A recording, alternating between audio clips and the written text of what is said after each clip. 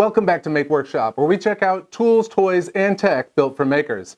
Today, we're going to be engraving in metal with a fiber laser. This is the Monport 20 watt fiber laser. This thing has a 20 watt fiber laser light engine, a 6 inch by 6 inch uh, operating area that it can engrave in, manual Z focus, and it gets down to 0.1 millimeters of accuracy. The most important thing though is that it can engrave in metal. And I mean actually engrave in metal, not just mark it a little bit or mark it if you put a special paste on it. It can actually engrave metal, steel, brass, aluminum, titanium. The list goes on and on. These are really cool. First off, Monport did not sponsor the video, but they did supply the laser for the video. Let's talk a little bit about fiber lasers. Now, you're probably wondering why is it called a fiber laser? Well, that's because the actual laser is over here in this box, and the light is transferred over to the galvo over here through this cable. Galvo is short for galvanometer, and it's basically just two mirrors or a single mirror being moved two ways to take a single point of light and draw with it.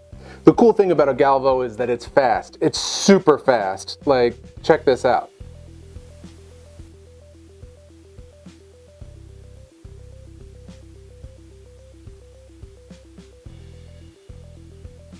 I don't fully understand all the science behind it, but the fiber optic cable that the light goes through is actually impregnated with a bunch of different rare earth materials that somehow magnify the light or something to make it work so it goes into metal. Listen, I didn't research that part because that's not what this video is about. This video is about demoing this machine so you can see if you want to go hunt one down and find it or use it.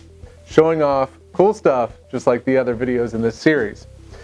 So a fiber laser, how is it different from a diode or a CO2 laser? Well, I've got a video coming soon that really dives into that, but let's just say each one has their uses. Um, but a fiber laser mainly is used for cutting and engraving metal. That's something that the other two really struggle with or can't do at all in most cases. Hey you, are you subscribed to Make Magazine yet?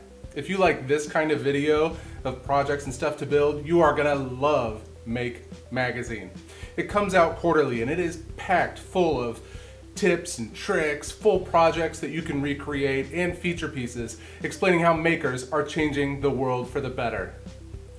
You can find information on how to subscribe in a multitude of ways, digital or get the actual print edition in your mailbox at the link above, the link below in the description. Now back to the video. When you're using a fiber laser, you have your speed that the laser is moving and you have your power. That's pretty much all you have on the others too. But then there's an additional thing in this, which is the, the pulse of the laser itself. And different pulses have different effects on metal.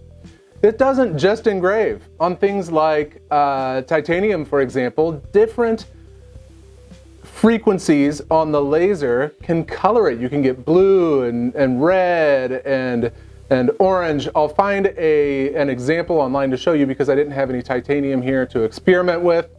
Um, a great resource for learning all the intricacies of this stuff is the Laser Everything YouTube channel. Go check them out. Using the machine is pretty simple once you get your reference material down. Um, you know, just guessing at the frequency can be pretty rough. You'd have to do a lot of trial and error. There are some great options out there. I mentioned Laser Everything earlier.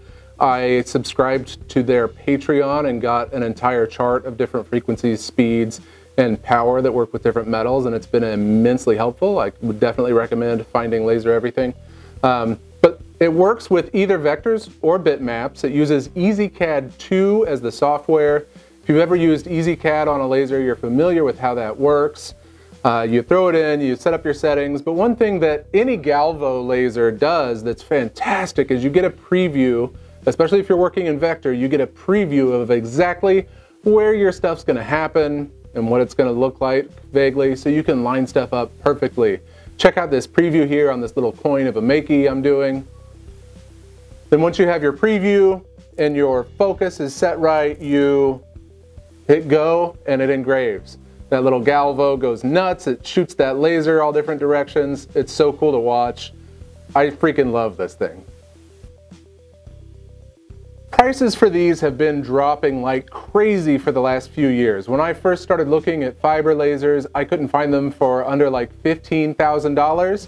This specific one, like I said, which is kind of the entry level machine, is just under $3,000. So it's actually cheaper than many of the CO2 lasers you see uh, being used in your home. Of course, your envelope is smaller.